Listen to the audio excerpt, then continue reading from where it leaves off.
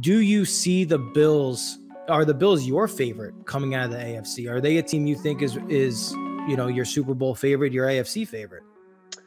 They are, but I, I say that with a little trepidation, and I'll explain why. You know, in the history of the Bills franchise, I don't know if the expectations have ever been higher than they are right now. Yes, the Bills went to and lost four straight Super Bowls in the 90s, Super Bowls 25 through 28. Um, and they were a really, really good team. But after they lost that first one to the Giants, I think a lot of people thought, well, the Cowboys were probably better, and the Washington that beat them in Super Bowl 26 uh, punched them in the mouth.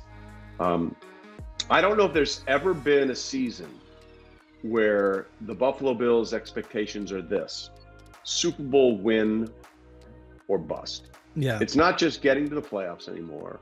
It's not just advancing in the playoffs or getting to the Super Bowl. They are expected to win the whole damn thing. And sometimes dealing with expectations and dealing with success is way more difficult than dealing with failure. Um, everything is set up for them. They have, they are the the team with the fewest weak links.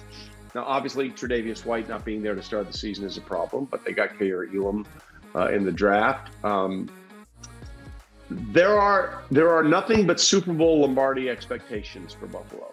Yeah. And you know, Josh Allen is a is an amazing quarterback, and he's the prohibitive favorite to win the MVP.